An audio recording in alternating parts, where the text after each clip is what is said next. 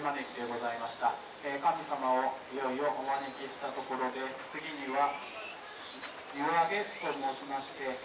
今こちらで水の神様火の神様のお力をいただきましてぐつぐつと煮えたりしております。できたばかりのお湯。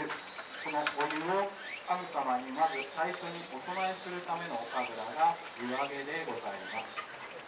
えーこの湯上げは、えーこの尊いお湯をお供えすることにすごく大切な意味がございまして、えーご本殿の方へとお湯をお捧げし、まだ皆様にかけるわけではないので、そんなに構えなくて大丈夫ですので、えーお捧げするためのお神楽で、前段がこのお湯、湯上げを終えますと一度終了させていただく。次には講談へと移るという形になります、えー先ほど申し上げたように神職がご奉仕する神楽でございますので、えー里神楽と違ってストーリー性よりもどちらかというと、えーお清めお祓いが中心のお神楽でございます。なのでまあ皆さんも割とピリッとした顔でね、えーご参列いただいておりますけれども講談はニコニコしながら参列していただいて構いませんのでこの神楽までは、えー厳しい顔でご参列いただきます。では最後前段最後の5座目になります。湯上げでございます。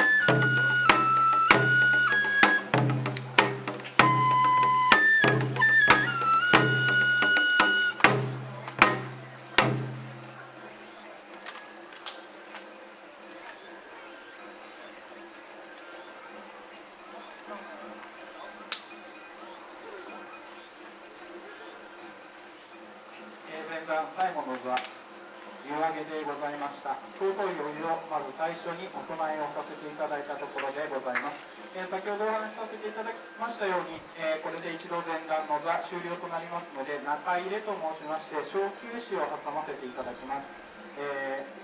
少しゆっくりしていただければと思います。我々神職はこの仮ギという装束を脱がせていただきまして、えーこれからは新人享楽、神様と共に楽しむためのお神楽へと移ってまいります。えー皆様方、えー怖い顔してないで笑っていただいても結構でございます。えーぜひですね、え私が面白いこと言ったら笑ってもらったら私はやりがい感じますのでね、えーぜひ笑っていただければと思います。